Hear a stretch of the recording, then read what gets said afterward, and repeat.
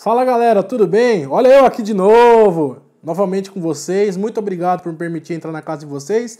E hoje, ah, no quadro Sax Iniciado, vamos falar de um assunto muito interessante para os saxofonistas: som rouco ou som rasgado, né? Quem nunca não ouviu uma música que tem aquele som rouco, que tem aquele som né, rasgado, que você fala, nossa, característica né, do, do sax, aquele, sabe aqueles filmes antigos do Máquina Mortífera, que tinha aquele efeito de fundo lá, aquele som ah, do sax, bem característico, eu mesmo, isso fica super marcado na minha cabeça.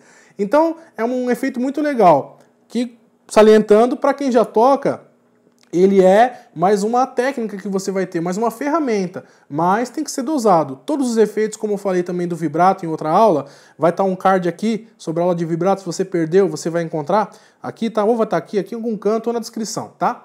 É um efeito que tem que ser muito bem dosado e muito bem feito. Então, a gente vai ensinar a fazer, mas eu aconselho a você a ouvir. Porque você pode perceber, uma música que tem esse efeito som rouco, você não vai ouvir a música inteira. Ou então vai ser um solo, vai ser um pequeno trecho. Porque se você tocar a música inteira fica maçante, não é verdade? Então vamos lá? O som rouco. Qual a característica do som rouco? É um som rasgado. Como fazer o som rouco? Existem várias técnicas, eu sempre vou bater nessa tecla. Existem várias técnicas, vários modos de ensinar, mas eu aprendi dessa maneira e tenho passado e tem surtido efeito. Então vou passar a minha concepção para vocês dessa técnica, tá bom? Basicamente, o que, que a gente vai fazer? Fazer um exercício rapidinho, um exercício rapidinho aqui para vocês. Ó, vou tirar o tudel. Só o tudel e a boquilha. Vamos fazer a nota que vai sair.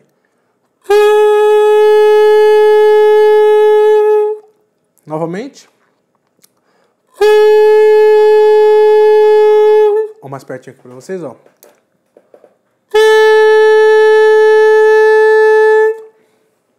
Aí o que acontece? eu vou tentar colocar a minha voz, que eu estou mandando a emissão do ar. Eu vou tentar colocar a minha voz juntamente com a emissão do meu ar. Então eu vou fazer assim, ó. Eu vou meio que tentar cantar a nota, o tom da nota que está saindo disso daqui, ó.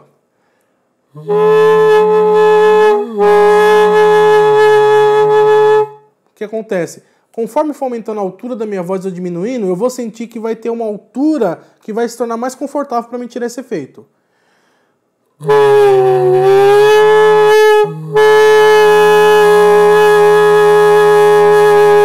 Estabilizei, certo? Eu recomendo, você pode te testar já esse efeito com o sax, mas com o Tudel vai ser mais fácil. Agora vamos colocar no sax, tá? Vou pegar uma nota, vou pegar o Lá, tá? Lá com o registro, tá bom?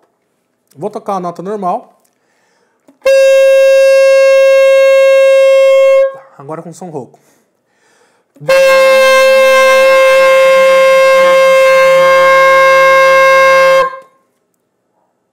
Como o microfone está captando aqui, acho que vocês vão ouvir até o som da minha voz.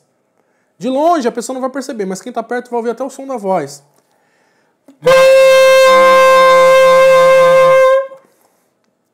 Agora eu vou fazer um trechinho qualquer aqui de uma sessão de notas aqui para vocês verem aplicando esse efeito. Tudo rouco, para vocês verem a diferença de quando você sobrecarrega e quando você dosa bem. Tudo rouco, ó.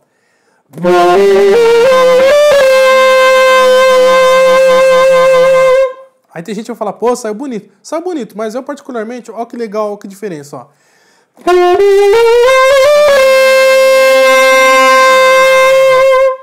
Que acontece? A pessoa que começou a ouvir, ouviu, ó.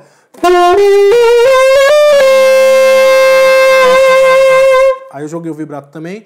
A pessoa ouviu a nota limpa, depois entrou o rouco, ou seja, foi um elemento a mais, trouxe uma surpresa. Então vocês vão notar em muitos áudios, né, muitas gravações, muitas músicas isso. Às vezes o cara vai entrar com uma nota limpinha, tal, e do nada ele vai entrar com um rouco e vai dar um brilho total para a música, vai dar uma diferença, vai dar um toque a mais, tá bom?